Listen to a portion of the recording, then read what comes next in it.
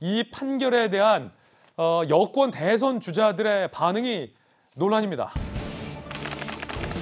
여권의 주자, 대권 주자들의 반응은 공통적으로 조국 전 장관과 함께 하겠다라는 식의 반응입니다.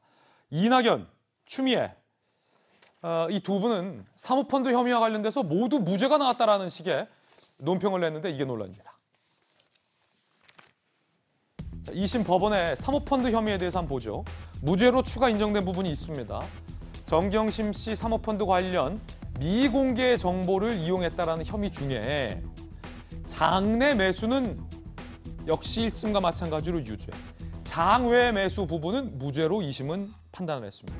그러니까 미공개 정보를 이용해서 사모펀드 거래를 했다라는 거가 일부 유죄, 일부 무죄가 된 거죠. 재판부는 이득 유무나 크기에 상관없이 그 자체로 미공개 정보를 이용하여 투기했다, 투자했다, 금융실명제법을 위반했다, 일반 투자자에게 손실 위험을 초래, 시장 경제 질서를 흔드는 중대한 범죄라고 재판부는 질타했습니다. 하지만 이낙연 후보, 사모펀드 관련 혐의 등에 대해 모두 무죄가 내려졌다는 것은 수사에 명분이 없었음을 증명한다. 라고 모두 무죄다. 사실과 다른 발언을 했습니다. 추미애 후보, 애초에 혐의 단정됐던 사모펀드 건은 모두 무죄가 되었다. 열 건 수사로 드자비했던 건들이 발목을 잡았다라고 역시 사실과 다른 입장을 내 논란이 일고 있습니다. 전재수의 예. 이 개인적으로 친하게 지냈고 인간적인 관계상 안타까움을 갖는 것까지 뭐 비판의 대상, 논평의 대상이 되리라고 보지는 않는데 적어도 사실관계는 맞아야 하는 것 아닙니까? 저도 이제 뭐 사실 이제 조국 전 장관 문제가 나오면 저도 사실은 이제 그 잘 아는 음, 사이라 이게 상당히 좀 난처. 난처하죠. 예. 그러니까 이제 어, 개인적으로 가지는 감정은 뭐 충분히 얼마든지 있을 예. 수 있는 거 아닙니까? 그러나 이제 어, 제가 이제 드리는 발언이 이제 그 민주당 소속의 또 국회의원이고 해서 이제 상당히 이제 에, 제 입장과 처지라는 게 난처한 상황인데 맞습니다. 그럼에도 불구하고 일단은 그 1심, 2심 재판부의 판결은 존중이 돼야 된다는 입장이고요. 그것을 부정하게 될 경우에는 이게 더 큰 문제를 초래를 할 수 있기 때문에 에, 이 판단은 존중돼야 된다고 생각을 합니다. 다만 이제 어, 추미애 후보라든지 이낙연 후보 입장에서는 경선을 치르고 있는 상황이죠. 그런 차원에서 이제 민주당 지지자들 내에 이제 에, 조국 전 장관의 상황과 입장에 대해서 굉장히 이제 마음 아파하고 하는 사람들의 지지를 마냥 무시는 할 수는 없고 예. 어, 그런 측면에서 이제 나온 어, 경선 과정상에서 나온 정치적 발언이다. 저는 그렇게 생각을 하고 또 한 가지 덧붙이고 싶은 것은 이제 윤석열 검찰총장은 계실 때 어, 조국 전 장관이 에, 법무장관 후보자로 이제 에, 내정이 됐을 때 이 수사의 출발점은 사실은 이제 사모펀드 였거든요. 그리고 윤석열 총장이 사모펀드와 관련된 수사를 많이 했고 내가 사모펀드 하는 사람들은 대부분 사기꾼이더라라는 이제 에, 어디선가 이 발언 이제 회자가 됐는데 이것으로부터 이제 수사가 된 측면이 있기 때문에 그 이유는 어, 100명이 넘는 검사와 검찰 수사관 그리고 70군데가 넘는 압수수색을 통해 가지고 말하자면 어, 그 입학의 문제라든지 이런 것들은 별건 수사 비슷하게 이제 진행이 되다 보니까 아, 이게 저렇게 이제 말씀을 하시는 측면이 있다고 봅니다. 저는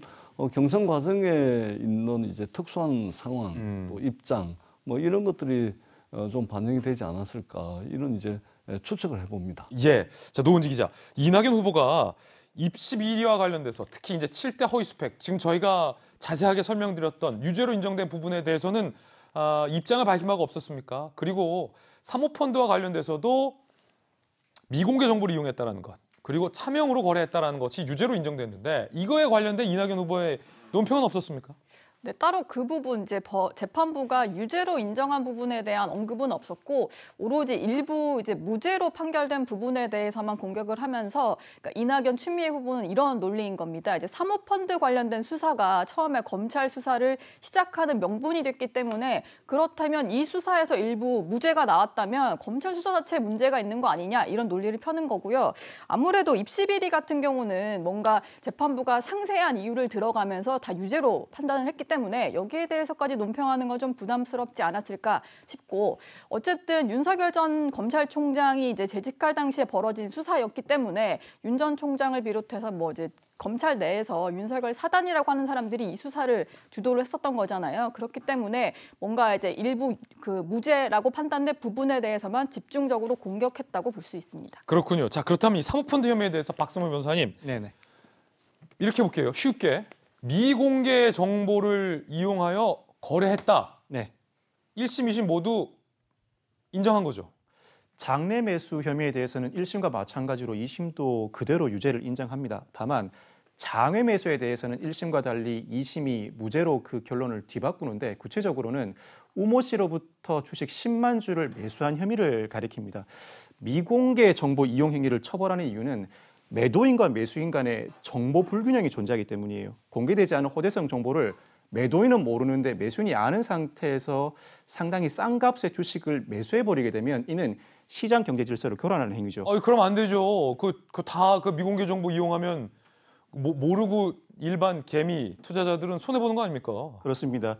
이를 전제로 1심은 이 거래가 호재성 정보를 모르던 우 씨로부터 정 교수가 매수했다고 판단했습니다. 그렇지만 2심은 더 심리를 해보니 이 10만 주의 매도인은 우 씨가 아니더라. 코링크 PE가 실질적인 매도인이고 코링크 PE는 자체적으로 이미 미공개 정보를 인지하고 있었다. 그렇다면 매수한 정 교수나 매도한 코링크 PE나 정보 불균형이 존재하지 않기 때문에 이때는 미공개 정보 이용 행위로 처벌할 수 없다고 판단합니다. 그렇군요. 그러니까 이 부분만 그 결론이 뒤바뀐 것이지 어쨌든 미공개 정보 로 인정될 수 있느냐 없느냐에 대해서 장외 부분에 대해서는 그렇게 무죄로 된 것이지 장내 주식이나 미공개 정보를 이용해서 금융거래를 했다라는 사실 자체는 인정을 하는 셈입니다. 그 미공개 정보를 조범동 씨가 제공했다라고 이 신문 본 거잖아요. 그렇습니다. 조범동 씨는 조국 전 장관의 오촌 조카이고 조카잖아요. 코링크 P의 실질적인 운영자이고 그러면 그 미공개 정보는 오롯이 조범동 씨에 의해서 정경심 씨가 준 겁니까?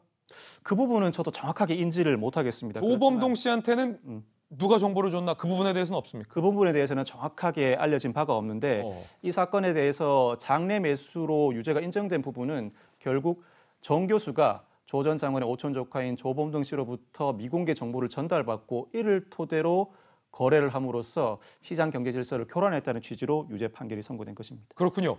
당시에 남편 조준 조 전 장관은 청와대 민정수석이었잖아요. 민정수석은 공직자로서 재산을 투명하게 공개해야 할 법적인 의무가 있죠. 공직자윤리법인데 조국 전 장관 공직자윤리법 위반 혐의로 기소된 거 맞죠? 공직자율법 위반 혐의로 기소가. 정경심 씨의 투자 과정 중에서 미공개 정보를 이용해서 거래했다는 혐의가 지금 유죄가 2심에서 인정됐다면 부부의 경제권, 부부의 사정은 사실은 공동 경제 운명체로 평가받을 수 있는 건 아닙니까? 그렇다면 네네. 조전 장관의 공직자윤리법 혐의에도 인정 어, 이- 영향이 됩니까? 구체적으로? 조 전 장관의 공소 사실 중에 미공개 정보 이용 행위가 어느 정도로 포함되어 있는지는 제가 정확하게 인지는 하지 못하겠습니다만 예. 이 적어도 그 과정에서 오고 간 돈의 보유 내역이나 거래 내역을 제대로 신고하지 않은 부분이 인정될 가능성이 높고 그렇다면 적어도 공직자 윤리법으로 처벌될 가능성은 더 높아진 상황이다라고 평가할 수 있을 것 같습니다. 두 번째 제가 묻고 싶은 것은 바로 차명으로 거래했다는 건데 이 금융실명법 위반이잖아요. 자 그럼 왜 차명으로 했을까? 혹시 일각에서 의심하는 것처럼 남편이 민정수석이기 때문에 그 부분은 인정 안 됐습니까? 남편이 민정수석이기 때문에 차명 거래를 했다라고 명시적으로 판시하진 않았습니다. 그렇지만 재판부도 그와 같은 생각을 하고 있을 것 같고 이 부분은 조 전 장관의 재판 과정에서도 검찰이 강력하게 주장할 것으로 보입니다. 조 전 장관이 이에 대해서 나의 민정수석 재직과 무관하게 처가 알아서 재산을 관리했다고 주장할 수도 있겠지만 아마 조 전 장관 재판을 진행하는 재판부 입장에서도 남편이 민정수석으로서 재산 관리를 해야 하는 대상이기 때문에 차명 거래를 하였다라고 판단할 가능성이 현재로서는 더 높아졌다고 평가할 수 있을 것 같습니다.